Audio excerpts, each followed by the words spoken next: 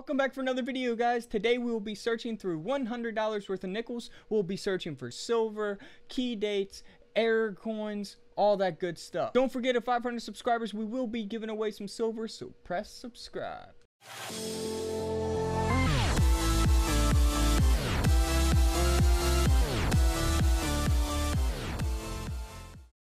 Alright guys, so we have $100 in nickels and these nickels here, check out these.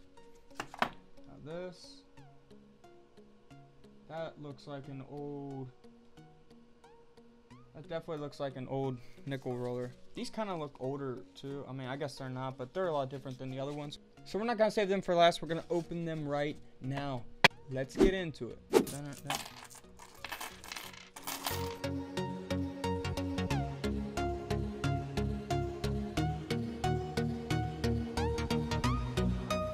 Alright, just to give you guys a little update.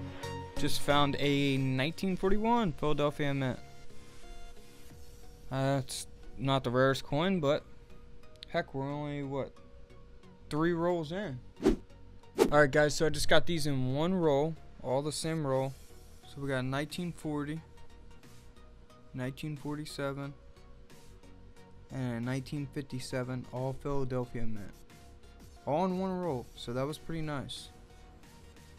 1940, 47, and 57. 57 is the lowest mintage out of those three. Now, on to my finds.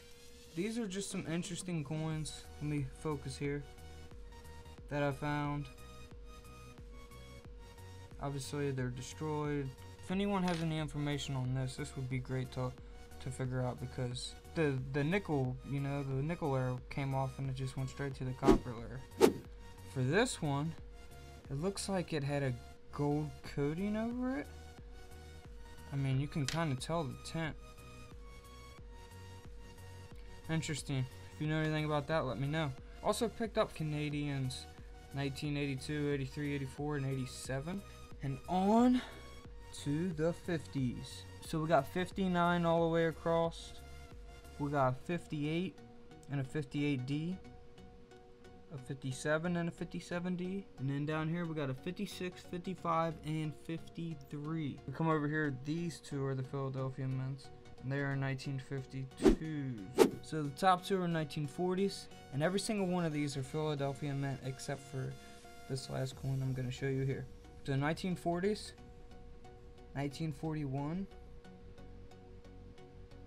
42, 46, two 46s, 47. And then this is the only Denver Mint out of the 40s, and that would be a 1948. So for this coin, I really wanted to pull my camera out and show you guys when I was getting it. It's the only Buffalo nickel I found out of every single every single roll, $100 rolls. My hands are dirty, so kind of excuse me for that, all these coins. And then when I flipped it over, I seen that it was dateless. So, and it's, I mean, it's worn as it can get. It's in pretty bad shape, so. But it's still cool getting a Buffalo. Thank you guys so much for watching and don't forget to follow me on all my social media at Real Justin Couch. And tell me in the comments below what kind of video you want me to do next. Remember, at 500 subscribers we will be giving away some silver. And this is where I disappear.